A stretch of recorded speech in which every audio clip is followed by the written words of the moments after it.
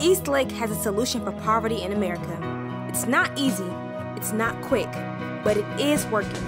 A quarter of all Americans are born into poverty, but we can transform the place they're born. Your help makes more possible. More hope, more healthy hearts, more places to come home to. Help possibility take place at eastlakefoundation.org.